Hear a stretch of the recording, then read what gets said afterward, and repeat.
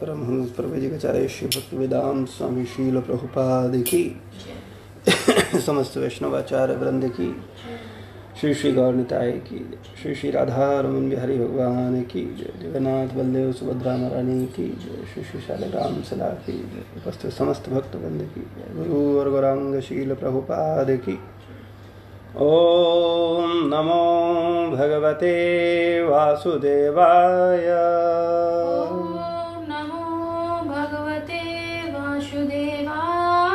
ॐ नमो भगवते वासुदेवाय। ॐ नमो भगवते वासुदेवाय। ॐ नमो भगवते वासुदेवाय। नमो भगवते वासुदेवाय। हरे कृष्णा श्रीमद् भगवद गीता अध्याय सात श्लोक संख्या सोलह आप लोग हमारे साथ साथ बोलिए चतुर्विधा। भजन्ते भजन्ते माँ माँ जनः सुकृतिनो अर्जुन आर्तो जिज्ञासुरथार्थी ज्ञानी च। भरतर्षभ। चतुर्विधा चतुर्विधा भजन्ते माँ जना सुकृतनो अर्जुन। आर्तो जिज्ञासुरथार्थी ज्ञानी च भरतर्षभ। ज्ञानी चतुर्विधा भजन्ते माँ चतुर्विधा भजन्ते माँ जना सुकृतनो अर्जुन। जना शुक्रतो अर्जुन। आर्तो जिज्ञासुरथार्थी आर्तो ज्ञानी च भरतर्षभ।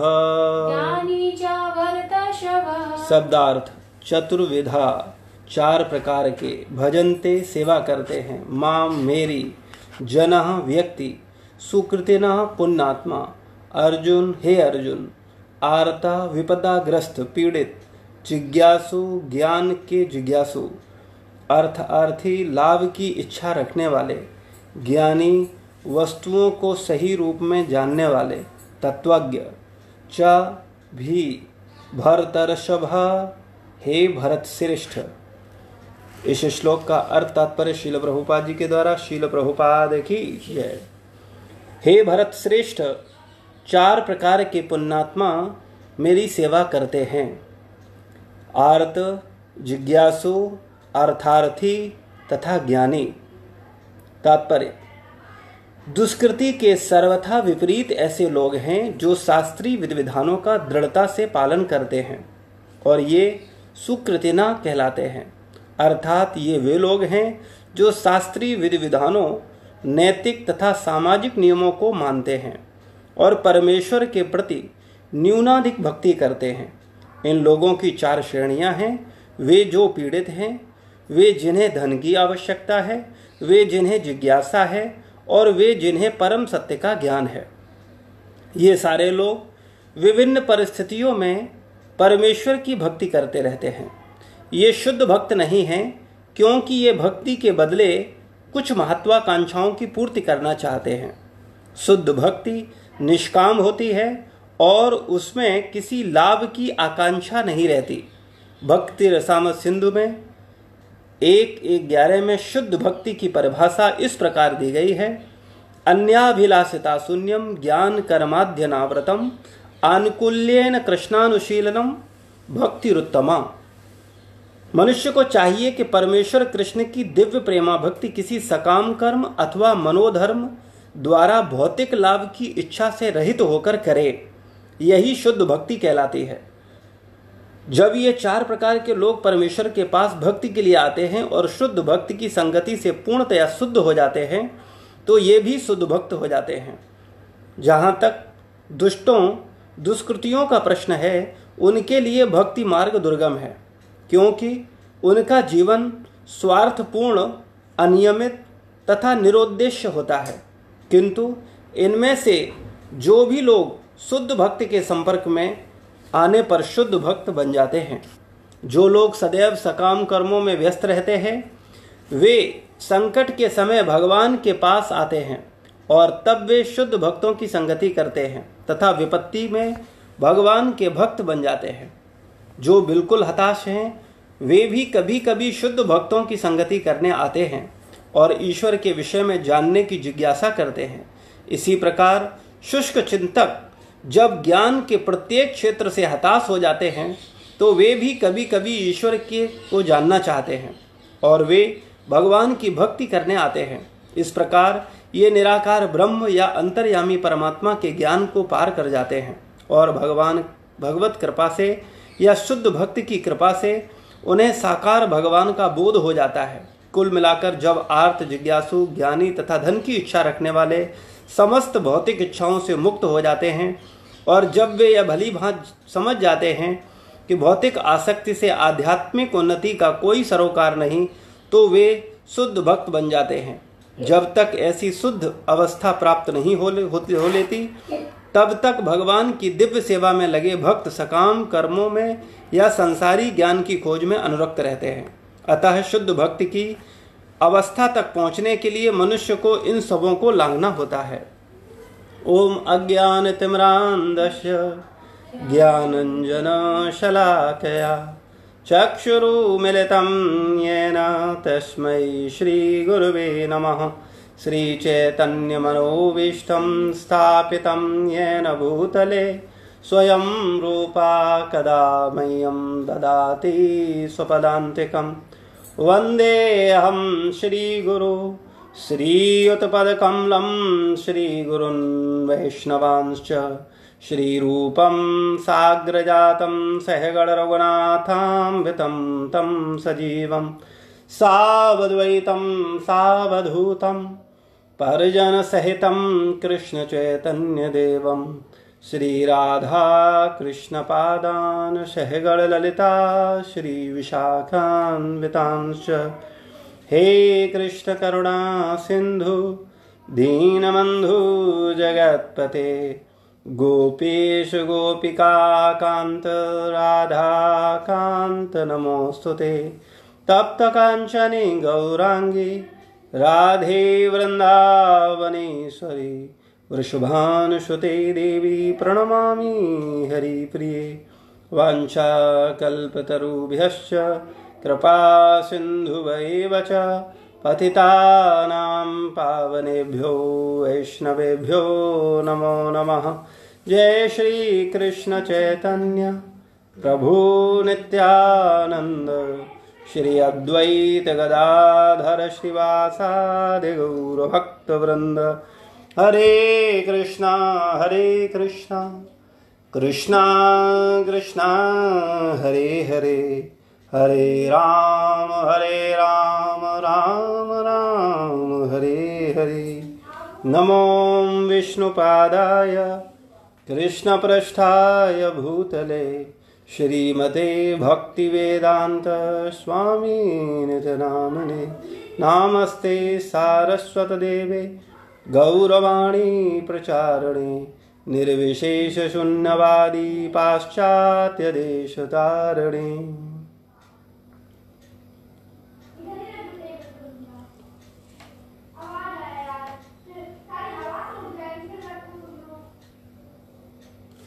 हरे कृष्णा। तो आज का श्लोक बहुत महत्वपूर्ण है। कल भगवान हमको दुष्कृतियों के विषय में बता रहे थे कि चार प्रकार के दुष्कृतना हैं, दुष्ट हैं, जो भगवान की शरण ग्रहण नहीं करते। भगवान की शरण ग्रहण करने का मतलब है, भगवान के आदेशों का पालन नहीं करते, भगवान के नाम जप को गंभीरता पूर्वक नहीं करते और भगवान के शुद्ध भक्तों के शरणागत नहीं होते, भगवान के आदेशों के अनुसार कार्य नहीं करते। इन चार दुष्कृतनों में बताया गया पहले वो हैं जो मूल हैं, दूसरे बताए नराधम, जो नरों में अधम हैं, तीसरे बताए माया अपरत ज्ञाना, जिनका ज्ञान माया द्वारा हर लिया गया है, और चौथे बताए गए असुरों की नास्तिक प्रकृति को धारण करने वाले, जो असुर हैं आसुरी भाव को रखने वाले हैं, नास्तिक लोग हैं इस प्रकार से चार प्रकार के दुष्कृतना लोग हैं जो भगवान की शरण ग्रहण नहीं करते, जो भगवान के पवित्र नाम का जाप नहीं करते, जो भगवान के भक्तों के आदेशानुसार जीवन को नहीं चलाते, अपनी मन मनो इच्छा से, मनोधर्म से ही वो संसार में रहते हैं और इंद्रिय तृप्ति करते हैं। आज भगवान बता रहे हैं सुकृतना के विषय में कि चार प्रकार के ऐसे जीवात्माएँ हैं, चार प्रकार के ऐसे भक्त हैं, मनुष्य हैं, जो सुकृतना हैं। और वो कौन कौन से हैं? चार प्रकार के पुण्यात्मा मेरी सेवा करते हैं। आर्त, जिज्ञासु अर्थार्थी तथा ज्ञानी, जो पीड़ित हैं, जिन्हें धन की आवश्यकता है या जिन्हें जिज्ञासा है, और वे जिन्हें परम सत्य का ज्ञान करना है, जो भगवान की शुद्ध भक्ति करते हैं। जो भगवान से प्रेम करना चाहते हैं। तो वास्तविकता में ये चार प्रकार के लोग भगवान की शरण लेते हैं। जो पीड़ित है, जिसको विभिन्न प्रकार से रोग है, स्वास्थ्य, मानसिक या शारीरिक, वो भगवान की शरण ग्रहण करता है। तो ऐसो को बोला गया सुकृतना। लेकिन शर्त यह है कि वो भगवान की शरण ग्रहण करे। वो भगवान से केवल मांगने जाए। अगर किसी को धन की इच्छा है वो धन चाहता है विषय भोगों को भोगने के लिए, तब भी वो धन की इच्छा के लिए भी भगवान के पास जाए। वो भगवान से प्रार्थना करे, भगवान से अनुरोध करे तो उसको सुकृतना बोला गया। जो धन की इच्छा के लिए, जो अपने स्वास्थ्य के लिए, मानसिक या शारीरिक स्वास्थ्य के लिए, या जिज्ञासा के लिए भगवान के पास जाते हैं, उनको क्या बोला गया? सुकृतना। वो पुण्य आत्मा है। ऐसे पुण्य आत्मा निश्चित एक दिन शुद्ध होकर के भगवान के शुद्ध भक्त बन जाते हैं। भगवान के वास्तव में शरणागत हो जाते हैं। क्योंकि जब वो भगवान की शरण में जाते हैं और भगवान का नाम जप करते हैं, भगवान की भक्ति करते हैं तो उनका मन शुद्ध हो जाता है। और वो संसार के विषय भोगों में न लग के वास्तव में जीवन के लक्ष्य को समझते हैं। और भगवान की भक्ति में गंभीर हो जाते हैं। तो इस प्रकार से चार लोग दुष्कृतना हैं और चार लोग सुकृतना हैं। तो हम लोगों को वास्तविकता में भगवान का शुद्ध भक्त बनना है। भगवान के पास किसी अभिलाषा को लेकर के नहीं जाना है। जिस प्रकार से एक पिता अपने पुत्र की समस्त आवश्यकताओं को समझता है कि उसको क्या आवश्यकता है, उसको क्या चाहिए, और वो उसकी योग्यता के अनुसार, उसकी आवश्यकता के अनुसार उसकी पूर्ति करता है। उसी प्रकार से भगवान भी हम सबके जीवन में हमारी जो आवश्यकताएँ हैं, हम जिसके अधिकारी हैं, वो हमको प्रदान करते हैं।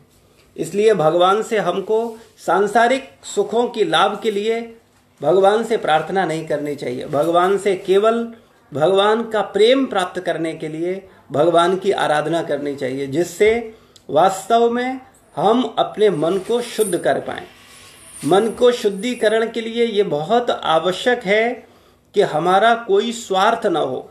हम अगर किसी स्वार्थ के वशीभूत होकर के सेवा करते हैं, तब हमारे मन का शुद्धिकरण नहीं होता। जैसे इस संसार में भी हर व्यक्ति कोई न कोई कार्य करता है तो उस कार्य के पीछे उसका कोई हेतु होता है।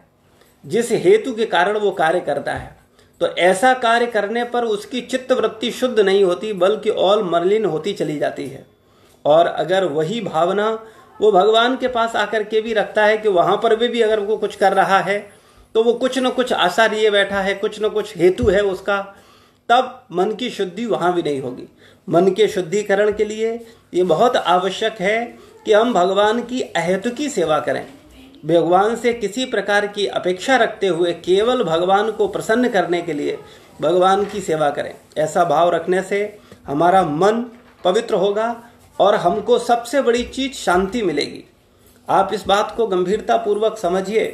संसार में जो लोग व्यापार करते हैं, सुबह से शाम तक किसी से कुछ लेते हैं और किसी से कुछ देते हैं तो लेने और देने से व्यक्ति को आनंद प्राप्त नहीं होता। लेने और देने से केवल व्यवसाय होता है। आनंद तब प्राप्त होता है जब वही दुकानदार अपने परिवार के लिए, अपने बच्चों के लिए निस्वार्थ भाव से उनके लिए सेवा करता है। तब उसको उनकी सेवा करके आनंद की अनुभूति होती है, उसको सुख मिलता है। लेकिन सुबह से शाम तक वो हज़ारों लोगों से मिल रहा है, ले रहा है और दे रहा है, उसको वो सुख की अनुभूति नहीं होती, जो सुख उसे अपने परिवार में मिलता है, क्योंकि वो परिवार की क्या करता है, जाकर के सेवा करता है। इसी प्रकार से हम सब लोगों को गंभीरता पूर्वक भगवान का निस्वार्थ भाव से सेवा करने का प्रयास कर, करना चाहिए। हमें भगवान से किसी प्रकार की कोई अपेक्षा नहीं रखनी चाहिए। लेकिन अगर हमारा उतना अच्छा उतना ऊँचा उतना शुद्ध भाव नहीं भी है तब भी कोई बात नहीं। अगर हम भगवान से कुछ भी इच्छा रखें धन की इच्छा रखें अकामा सर्व कामा व मोक्ष कामा उदारधि तीव्रेण भक्ति योगेन यजेत पुरुषम परम। अकामा कोई कामना ना हो। सर्व कामा, सभी कामना हो। मोक्ष कामा, मोक्ष की इच्छा हो। कुछ भी इच्छा हो, हमको कर, परम भगवान की तीव्रता पूर्वक भक्ति करनी चाहिए। तो ये हमको श्रीमद् भागवत से उपदेश मिलता है। इसी प्रकार से हम लोगों को वास्तविकता में अगर सुकृतनी बनना है, वास्तव में भगवान पुण्य आत्मा बनना है तो हमको एकमात्र भगवान की शरण ग्रहण करनी चाहिए। चतुर्विधा भजनते माम। यहाँ पर भी भगवान बोल रहे हैं माम। माम मतलब मेरी। चार प्रकार के लोग, चार प्रकार के पुण्यात्मा मेरी सेवा करते हैं। वो किसी, भगवान यहाँ पर पुण्यात्मा देवी देवताओं के सेवक को नहीं बोल रहे। जो व्यक्ति अपनी कामनाओं की पूर्ति के लिए देवी के पास जाता है, देवताओं के पास जाता है उस व्यक्ति को पुण्यात्मा नहीं कहा गया। वो व्यक्ति वास्तव में सुकृतना नहीं है। सुकृतना केवल वो है जो परब्रह्म परमात्मा की शरण में जाता है। भले ही वो किसी इच्छा को लेकर के ही क्यों न गया हो। इसको उदाहरण स्वरूप ऐसे समझ सकते हैं, जैसे एक पिता के पास अगर पुत्र कुछ इच्छा को लेकर के भी जाता है और उनसे इच्छा रखता है तो पिता उसकी परिस्थिति के अनुसार, उसकी आवश्यकताओं के अनुसार ही, उसकी ज़रूरत के हिसाब से ही उसको देंगे। ऐसा नहीं है वो जो मांग रहा है वो दे दे। लेकिन जैसे अगर एक बच्चा अपने पिता से बोलता है कि पिताजी, मुझे सिगरेट पीने की इच्छा है, मेरे लिए सिगरेट ले आइए।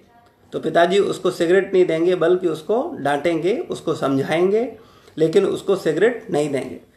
वहीं अगर वो बच्चा दुकानदार के पास जाता है और उसको बोलता है कि मुझे सिगरेट दे दो तो निश्चित रूप से वो उसे सिगरेट दे देगा। इसी प्रकार से देवी देवताओं को जब हम कुछ देते हैं और उनसे कुछ इच्छा करते हैं तो वो हमारा भला बुरा सोचे बिना हमको वो दे देते हैं। लेकिन परम भगवान हम, हमको जो उचित होगा, वही हमको देंगे। हमारे मांगने पर हमको नहीं देंगे। इसीलिए कई बार बहुत सारे भक्तों को ये शिकायत होती है कि हम तो इतने समय से भक्ति कर रहे हैं और मेरा कोई मंतव्य पूरा नहीं हो रहा है।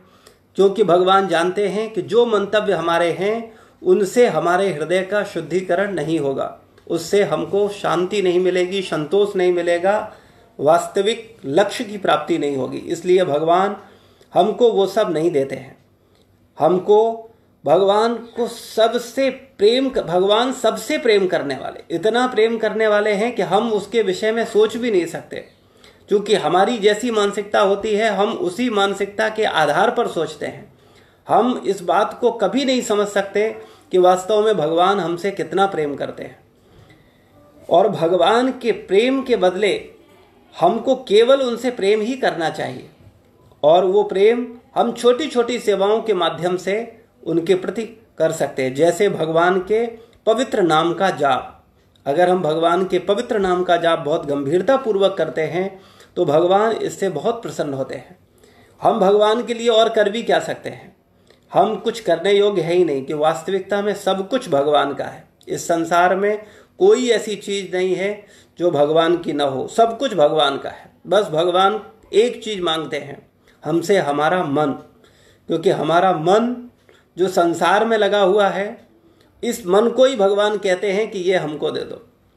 और अगर ये मन हमने भगवान को दे दिया तो निश्चित रूप से हमारा जीवन सफल हो जाएगा।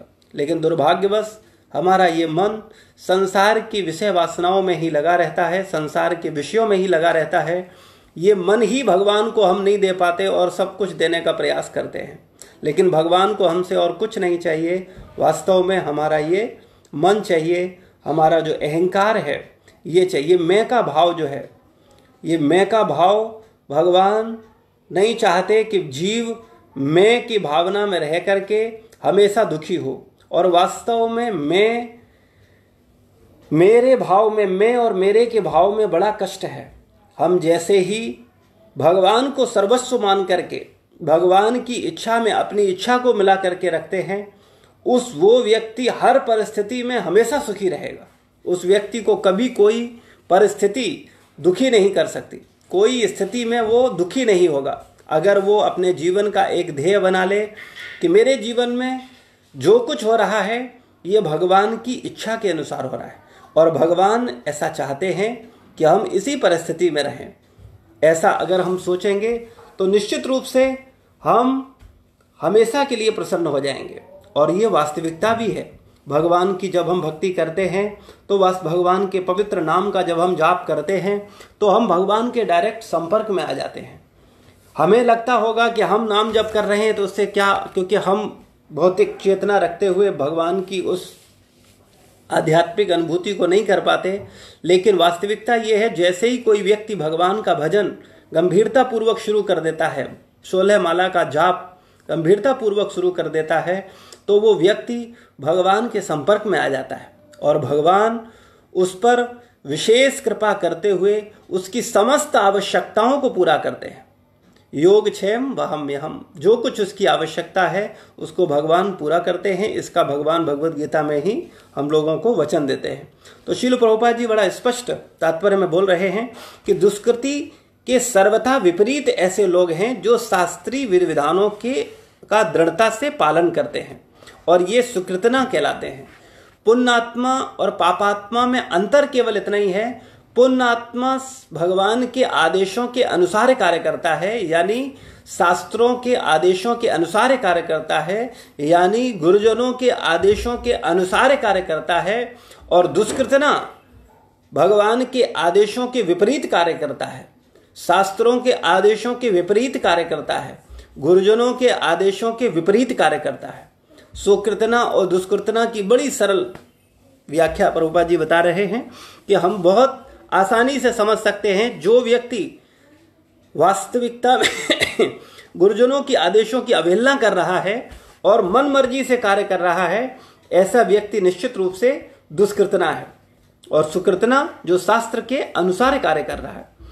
तो अर्थात वे, ये वे लोग हैं जो शास्त्रीय विधि विधानों नैतिक तथा सामाजिक नियमों को मानते हैं। और परमेश्वर के प्रति न्यूनाधिक भक्ति करते हैं।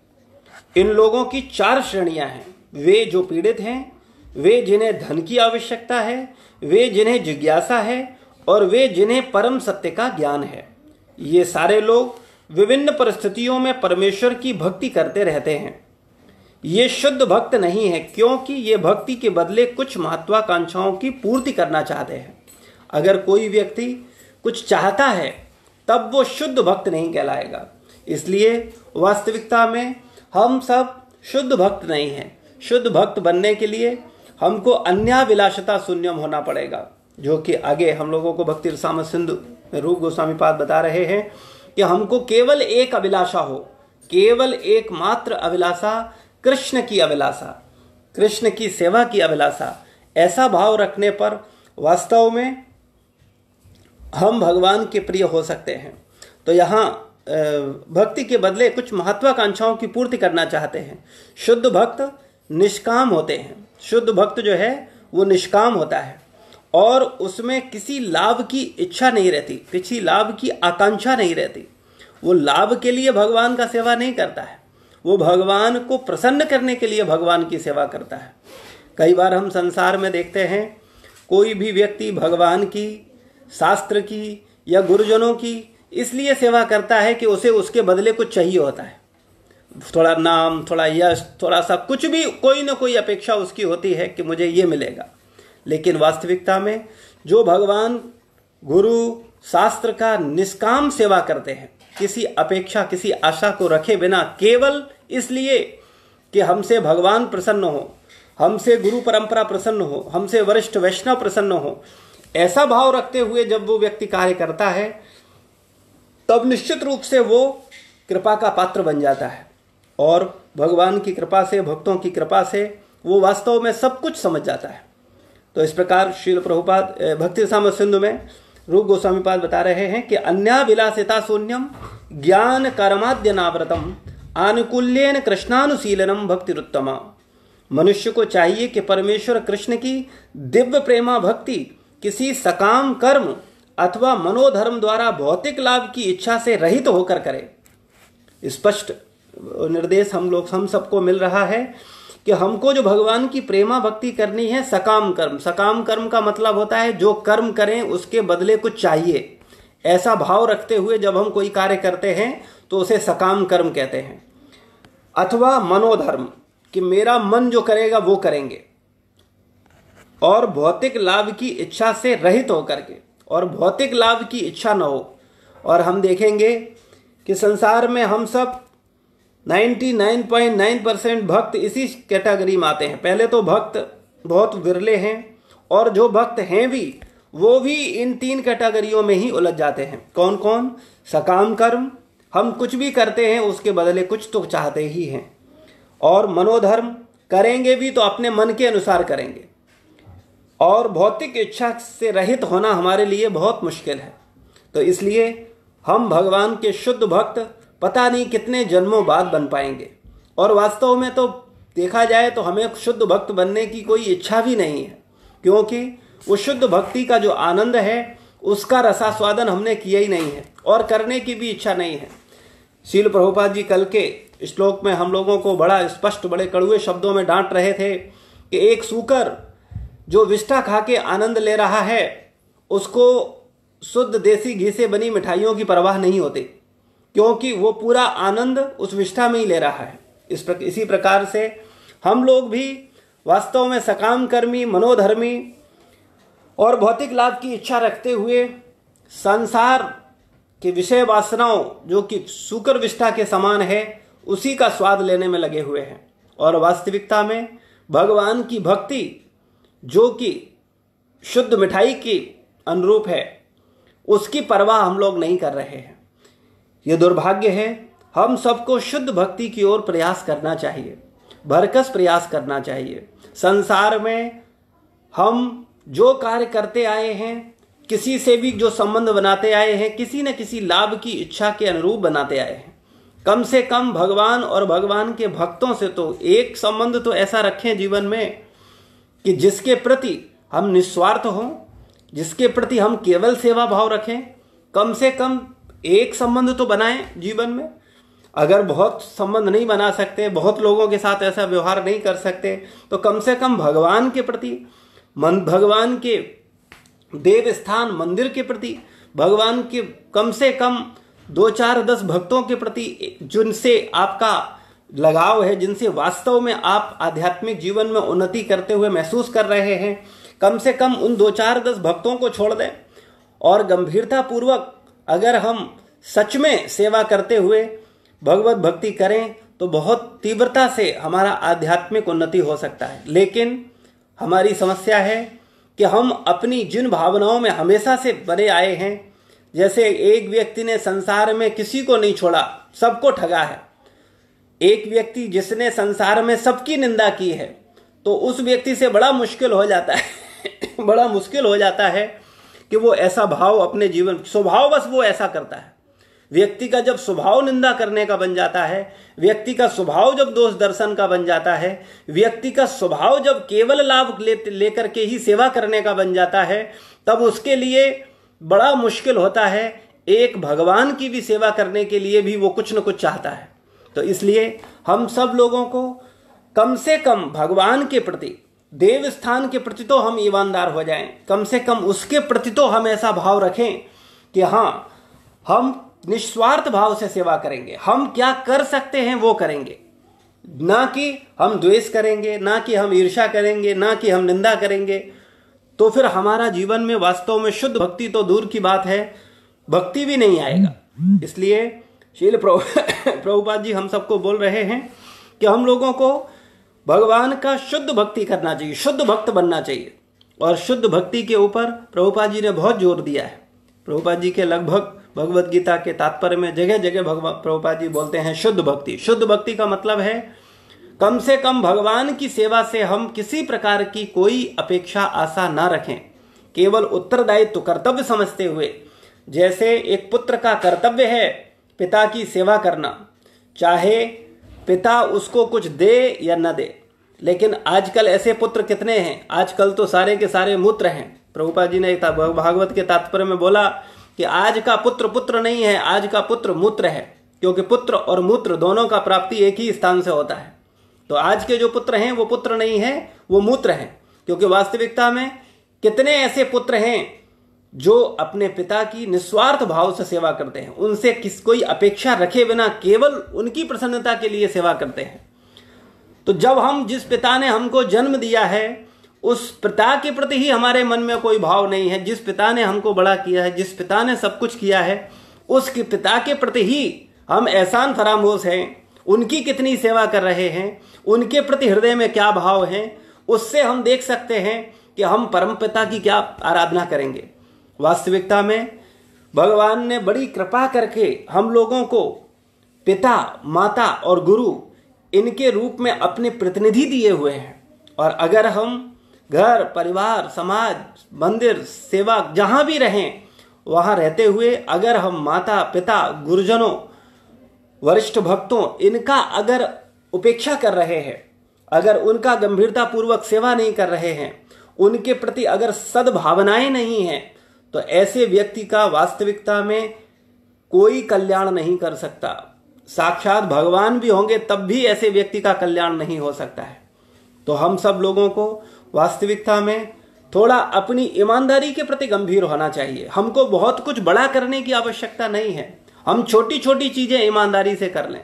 दुर्भाग्यवश हम सब बड़ी बड़ी चीज़ें करना चाहते हैं। हम भगवत गीता का ज्ञान प्राप्त करना चाहते हैं, हम भागवत का ज्ञान प्राप्त करना चाहते हैं, हम बड़े वेद, वेदांगों में पारंगत होना चाहते हैं, लेकिन अपना बेसिक आचरण शुद्ध नहीं करना चाहते, सद्भावनाएँ नहीं लाना चाहते, हम कृतज्ञ नहीं बनना चाहते, और इन पर हमें विशेष ज़ोर देना चाहिए।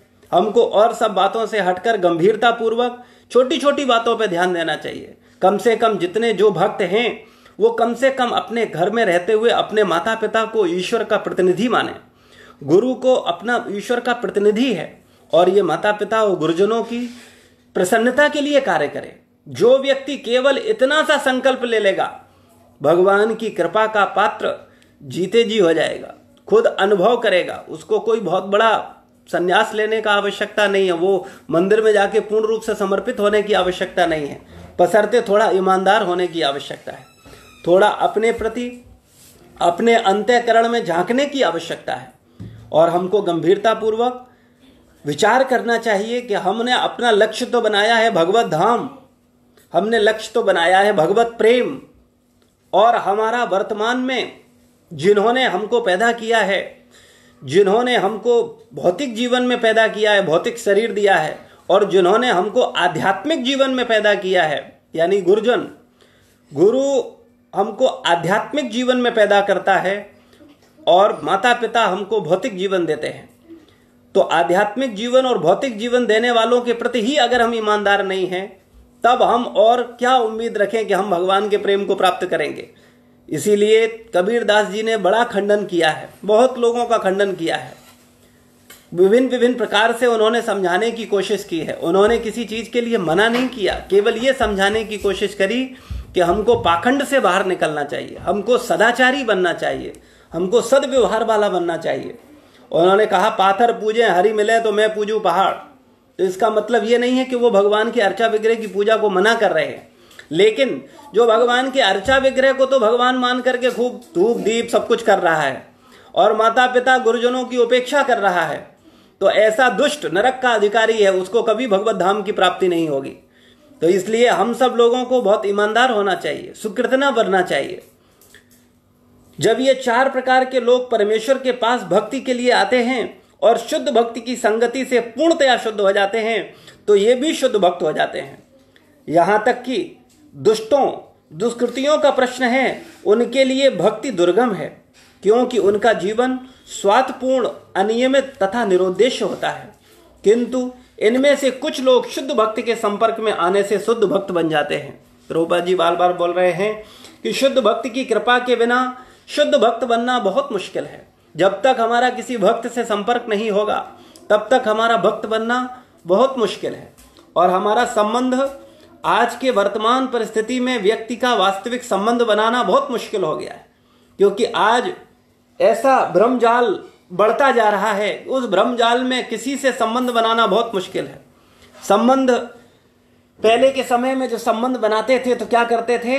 गुरुजनों के आश्रम में जाकर के उनका सेवा करते थे, वहाँ रहते थे। माता पिता के पास रहते थे, उनका सेवा करते थे। आज के समय में हम कैसे सेवा करते हैं? फेसबुक और व्हाट्सएप के माध्यम से, है ना? तो ये फेसबुक और व्हाट्सएप के माध्यम ये भ्रमजाल है। इससे किसी भी व्यक्ति का कल्याण होने वाला नहीं है। माध्यम ज़रूर है ये, आपस में एक दूसरे के संपर्क का, लेकिन सही चीज़ का कैसे सदुपयोग किया जाए, वो बड़ा इंपॉर्टेंट है। आज के समय में हम बहुत कुछ कर रहे हैं, लेकिन संबंध किसी के साथ नहीं है। जैसे फेसबुक में हम बहुत सारे मित्र हैं, लेकिन मित्रता किसी के साथ नहीं है। यूट्यूब पे हम बहुत सारे संतों को सुन रहे हैं, लेकिन संबंध किसी के साथ नहीं है। तो बिना संबंध के भगवत धाम जाना तो दूर की बात है, भगवत ज्ञान हृदय में प्रकाशित ही नहीं हो सकता। संबंध बहुत आवश्यक है। हमारा किसी न किसी भक्त से संबंध होना बहुत आवश्यक है और संबंध हृदय का हृदय से होता है। अंतरंग संबंध होना चाहिए। वाह्य संबंध नहीं, दिखावटी संबंध नहीं। ये वो संबंध आपके जीवन में कल, हमारा हृदय से संबंध होना चाहिए। इसलिए हम अपने जीवन में कुछ भक्तों से हृदय से संबंध बनाएँ और उन भक्तों से उन भक्तों के समक्ष अपने समस्त कपट को खोलें और पूरा हृदय खोल करके ईमानदारी से भगवत भक्ति करने का प्रयास करें।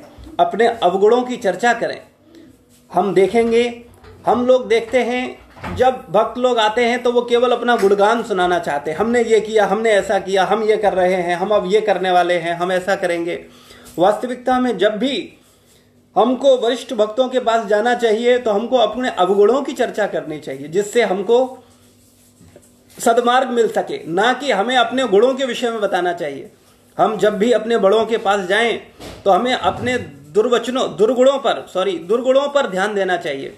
और उनकी चर्चा करके हमें सदगुण लेने चाहिए। वो हमें, हम दुर्गुणों से कैसे निकल सकते हैं, इसका मार्ग बताएँगे। लेकिन दुर्भाग्य बस आज के भ्रम जाल में हर व्यक्ति बहुत सारे फ्रेंड बनाए हुए हैं फेसबुक पर, लेकिन मित्रता किसी से नहीं है। इसी प्रकार से बहुत ज्ञान ले रहे हैं हम, लेकिन संबंध किसी के साथ नहीं है। तो ऐसी भावना से, निश्चित रूप से हमारा भगवान के धाम जाना तो दूर की बात है, वास्तविक ज्ञान भी प्रकट नहीं होगा, केवल समय बर्बाद कर रहे हैं हम। विभिन्न विभिन्न प्रकार से। हम विभिन्न विभिन्न प्रकार से केवल गंभीर न होकर के हम विश्व दूसरे तरह से हम इंद्रिय तृप्ति कर रहे हैं। इसलिए हम सबको बहुत ईमानदार होकर के अपने आचरण में परिवर्तन लाना चाहिए। हमको हृदय से देखना चाहिए कि मेरे हृदय में क्या परिवर्तन हो रहा है। मैं मैं दो साल से, एक साल से इतना श्रवण कर रहा हूँ, मेरे जीवन में परिवर्तन क्या हुआ? क्या मैंने हरे कृष्ण महामंत्र का सोलह माला शुरू किया? अगर हमने सोलह माला हरे कृष्ण महामंत्र का भी नहीं शुरू किया है, तब तुम्हारे बहुत सारा सुनने से क्या फ़ायदा? और हमने देखा है, बहुत जो भक्तों के संपर्क में होते हैं, वही करते हैं जब, वही क्योंकि उनका सुधार होता है, उनको सुधारने वाला कोई है, उनको डांटने वाला कोई है, उनकी केयर करने वाला कोई है। लेकिन जो मूर्ख हैं, वो केवल अपना ज्ञान बघारते रहते हैं। और ऐसे ज्ञान बघारने से कुछ नहीं होने वाला। इसलिए हमको गंभीरतापूर्वक आत्मचिंतन करना चाहिए और वरिष्ठ भक्तों का गंभीरतापूर्वक श्रवण करना चाहिए। और हमारा संबंध निश्चित रूप से कुछ भक्तों के साथ होना चाहिए, जिससे हम अपने हृदय को व्यक्त करके सदमार्ग प्राप्त कर सकें। और जीवन का जो व्यक्ति जरा सा भी अगर ईश्वर कृपा प्राप्त करने का अभिलाषी है तो उस व्यक्ति के लिए पहली शर्त है कि वो अपने माँ बाप और गुरुजनों का आशीर्वाद प्राप्त करे। अगर उसके पास माँ बाप और गुरुजनों का आशीर्वाद नहीं है तो उसे भगवान का आशीर्वाद कभी नहीं मिल सकता। तो शुद्ध भक्तों के संपर्क में ही व्यक्ति शुद्ध भक्त बन सकता है। आगे प्रभुपाद जी बोलते हैं, जो लोग सदैव सकाम कर्मों में व्यस्त रहते हैं, वे संकट के समय भगवान के पास आते हैं और तब वे शुद्ध भक्तों की संगति करते हैं। सकाम कर्मों में फंसे वाले, सकाम कर्म का मतलब है जो व्यक्ति अपनी इंद्रिय तृप्ति के लिए, जो विषय भोगों को भोगने के लिए काम करता है। संसार में 99.9 परसेंट लोग केवल विषय भोगों को भोगने के लिए ही काम करते हैं। वो उनका लक्ष्य केवल धन कमाना और इंद्रिय तृप्ति करना है। उनका लक्ष्य भगवान को प्राप्त करना नहीं है।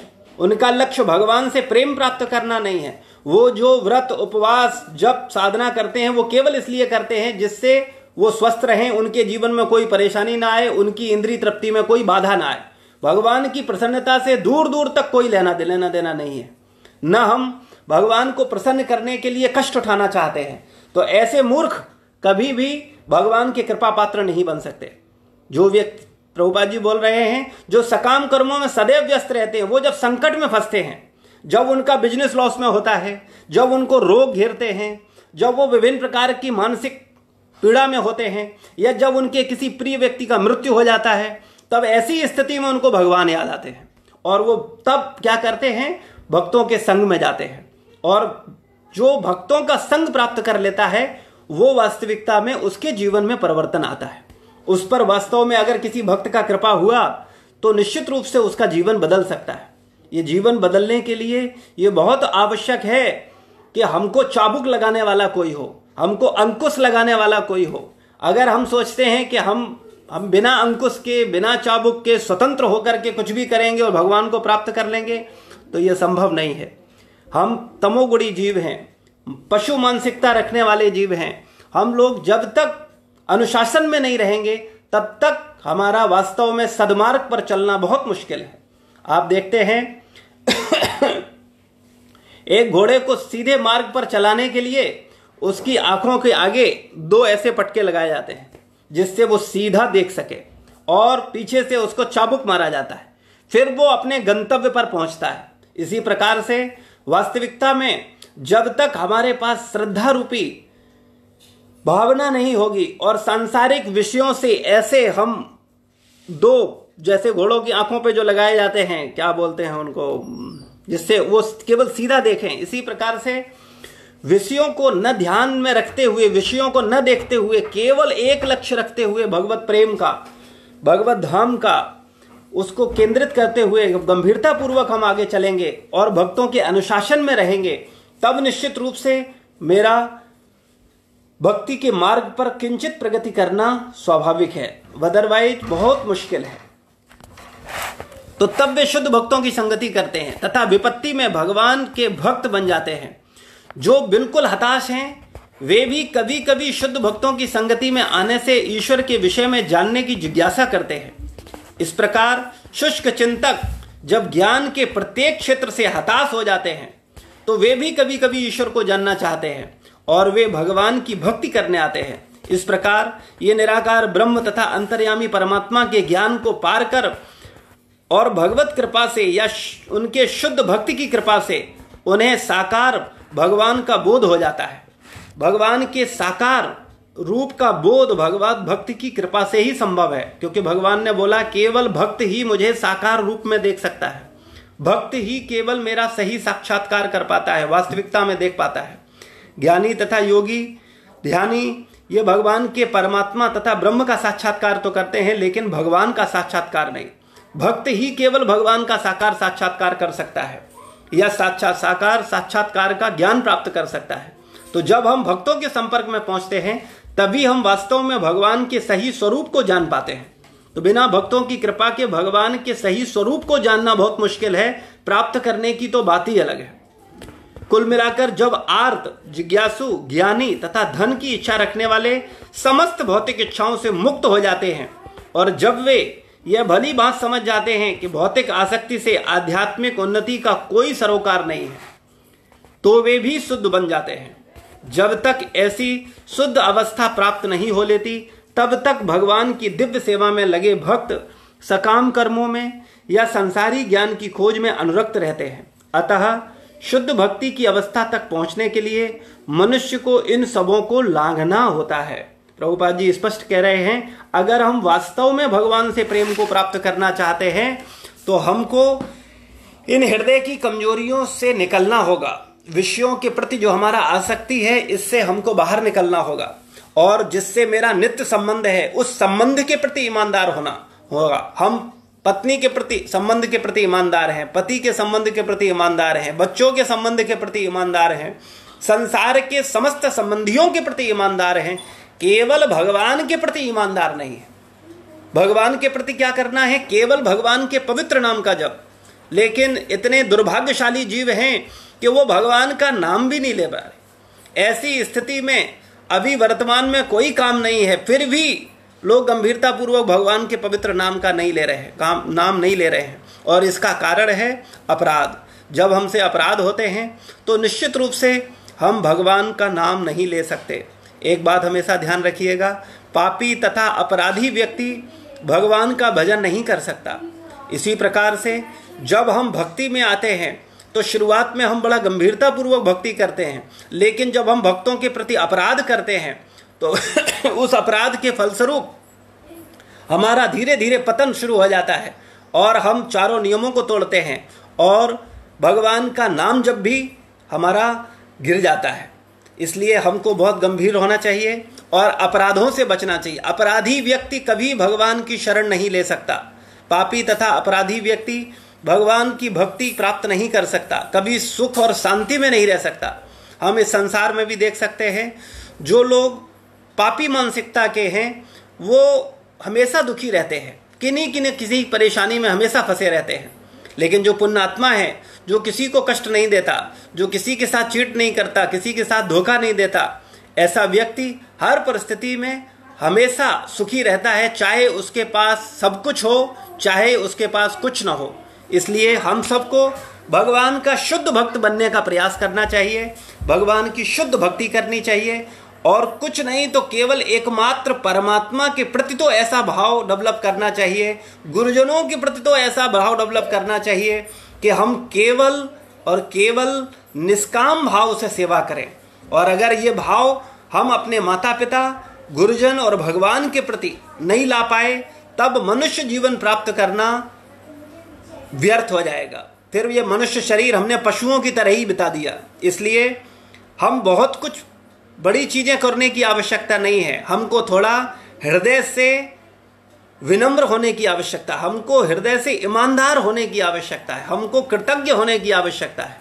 हमको ईमानदारी से माता पिता गुरुजन और भगवान की आज्ञाओं के प्रति सावधान रहना चाहिए।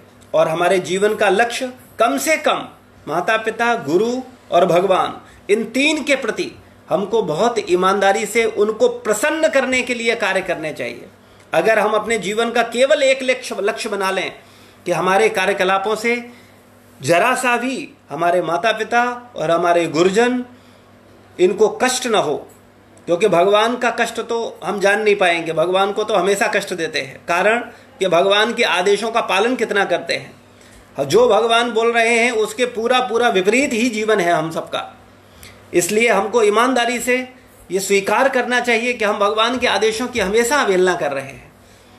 लेकिन भगवान फिर भी हम इतने दयालु हैं कि वो हमको फिर भी गले लगाने को तैयार है, हम पर कृपा करने को तैयार है। इसलिए हम सबको भगवान का हृदय से शरण लेना चाहिए, अपने आप को महान कभी नहीं मानना चाहिए।